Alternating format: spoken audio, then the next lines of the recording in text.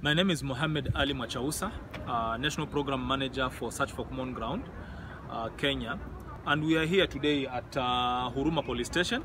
We've been here with uh, communities, working together with uh, police officers, uh, the Deputy County Commissioner, the Area County Commissioner, chiefs, and uh, young people of uh, Madare and Huruma area.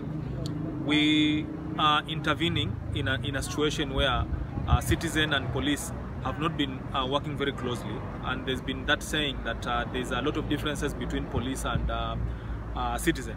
But today we were here uh, we made a cleanup together with, uh, with citizens and police in uniform. We also ate breakfast together. We shared tables together. We also had a, a round table uh, dialogue where uh, young people were asking very difficult questions to the police officers and uh, the police officers led by the uh, officer commanding station OCS uh, was addressing these issues and also ensuring uh, the citizen that uh, all is well and the police are very eager to work with them. This is in a project called Pamoja Dhidi Corona by Search for Common Ground and funded by European Union.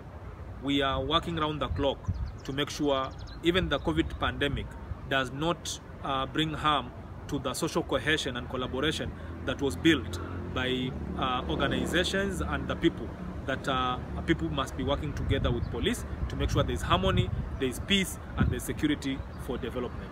Thank you very much.